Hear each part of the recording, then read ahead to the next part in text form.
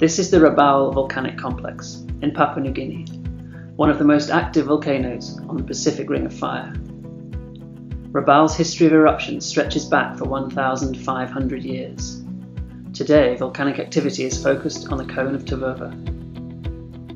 Tavurvur has been active for over a century, and a major eruption in 1994 buried Rabaul town in ash and pumice. Although many residents abandoned the town, 200,000 people still live in the shadow of the volcano. Scientists at the Rabaul Volcanological Observatory monitor the volcano, detecting earthquakes and measuring changes to the land surface.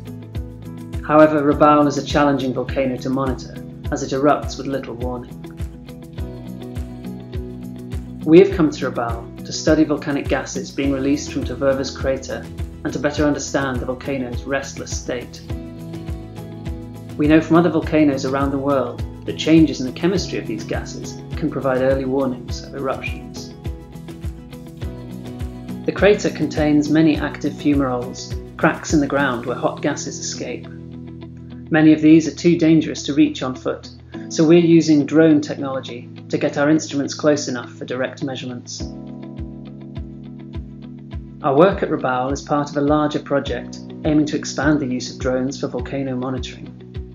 In time, our goal is for Rabaul Volcanological Observatory to monitor volcanoes like Rabaul routinely from the air, helping their ongoing work to safeguard the people of Papua New Guinea from volcanic hazards.